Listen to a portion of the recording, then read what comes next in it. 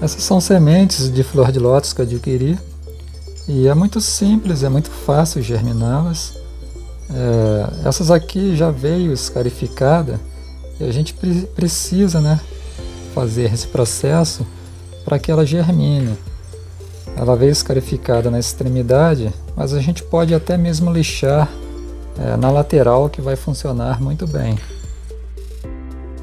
Eu comprei essas sementes como sendo mini flor de lótus, mas sinceramente eu não sei se existe essa variedade mini ou se ela fica menor devido a, a ser cultivada, por exemplo, num espaço reduzido, né? por exemplo, num vaso. É, pelo menos o tamanho das sementes são normais, né? do tamanho da flor grande. Então eu acredito que plantando em um local que tem espaço para as raízes desenvolverem, eu acredito que vai a flor vai ser do tamanho normal. Mas isso eu vou saber mais tarde quando elas derem flor, porque algumas eu vou plantar em um vaso menor e outras eu vou plantar em um local é, que vai ter espaço para as raízes se desenvolverem.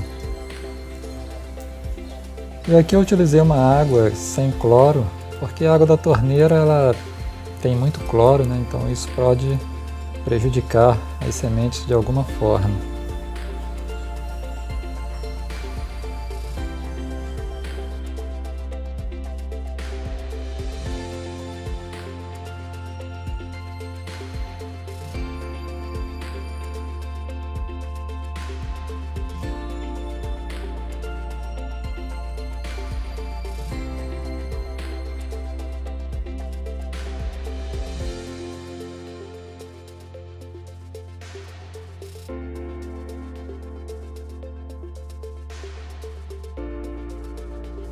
E aí no terceiro dia a água ganha essa tonalidade e algumas sementes já começaram o processo de germinação.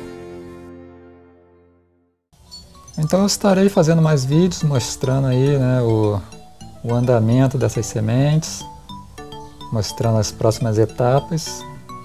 Se você gosta né, de plantas aquáticas, de flor de lótus, se inscreva aí no canal e até o próximo vídeo.